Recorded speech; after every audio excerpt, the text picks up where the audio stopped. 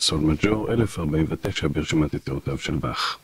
שוב, הסולנים עם התזמורת הם נגני התזמורת הכנרית בת שבע צוולדי קולברג, החלילנים נועם בוכמן ורמי טל, ונגן הצ'מבלו האורח פיליפ לג'ר.